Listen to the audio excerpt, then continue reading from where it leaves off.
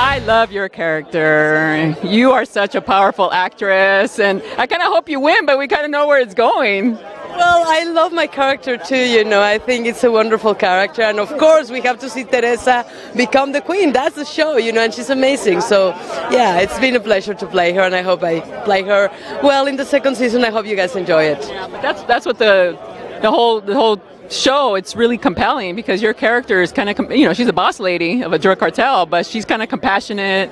You kind of care for her so you don't want her to go but yet there's this conflict starting already.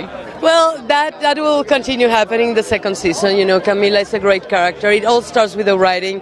We have an amazing group of writers. Our showrunner um, is one of the few female Hispanic showrunners, Natalie Chaidez, and I think she's done an amazing work. You know, and this is a, a beautiful um, vehicle uh, for women. You know, it's empowering women. They're strong, they're independent, they don't live through men. You know, they stand for their own beliefs. And yes, uh, Camila is a criminal.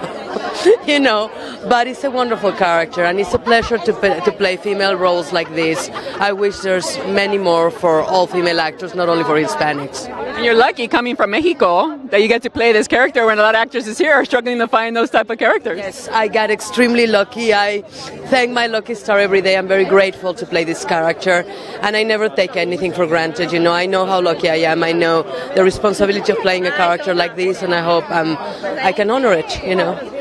And I look forward to your scenes with Joaquin because you guys going up, husband and wife, going up against each other. That's just so fun to watch.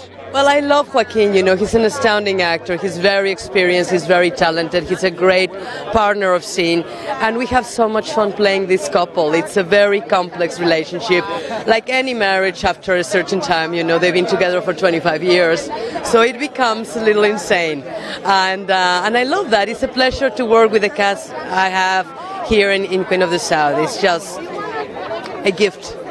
Thank you so much. I think you deserve an Emmy nomination. Thank you so much.